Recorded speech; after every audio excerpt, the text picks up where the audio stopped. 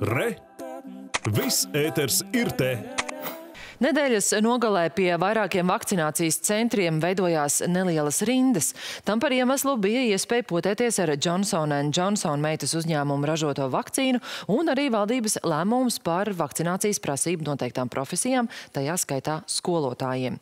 Statistika liecina, ka šonedēļ vakcinācijas temps nedaudz pieaudzis. Stāsta Daces Tirāne. Tukumā izbraukuma vakcinācija notiek kultūras namā. Dienas vidū izveidojusies neliela rinda. Tajā ar pasēm rokās stāv gan tie, kas atnākuši saņemt otru vakcīnas devu, gan arī tie, kas tikai tagad nolēmuši vakcinēties. Daiga atnākusi ar savu 12 gadus veco meitu Annu, kurai jāsaņem otra pote.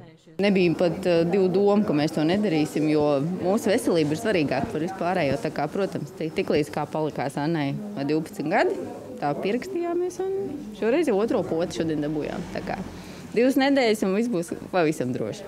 Annai Tukumā mācības notiek klātienē un Daiga priecājas, ka tā, jo tas esot daudz labāk nekā attālināti. Tikai dažus metrus tālāk ieteiktās 15 miera minūtes pēc potes nogaida skolotāja Līvija. Lieta ir tāda, kas strādāja skolā. un, lai varētu turpināt strādāt skolā, bija jāveic vakcinācija.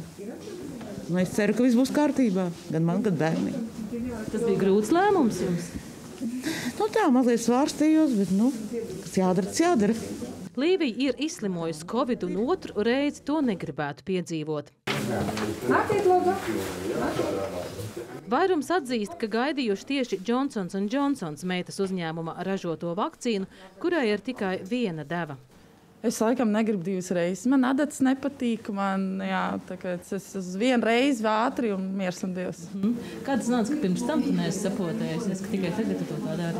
Teiksim, tā nav nepieciešama bijusi sēdēt mājās īsti tā vasarā, jau kur mēs pavadām mežā pie jūras, un uh, kur citur nebija nepieciešamība, nebija tādas šausmīgās cilvēku saskarsmes. No Anguras vakcinēties atbraukuši arī dzīvesbiedri Ivars un Inga. 61 gadu vecais Ivars bravūrīgi saka, ka nemaz nebūtu vakcinējies, ja drīzumā nebūtu jādodas uz sanatoriju.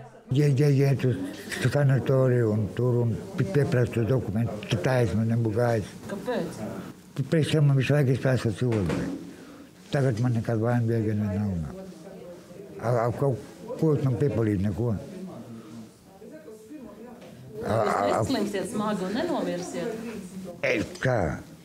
Kā, kā, kā 90 gadu tev nomirst tā? Jāvakcinējās ir. Vismaz drošāk būs. Laukos tā nav. Jā. Jums ir tāds ģimenē tāds pretējs viedoklis, ja? Jā. laukos, mēs divi laukos, vēnguri.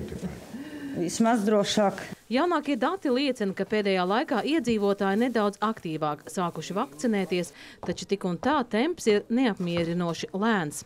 Nacionālais veselības dienests optimistiski prognozē, ka Latvijā 75% iedzīvotāju varētu būt vakcinēti līdz gada beigām.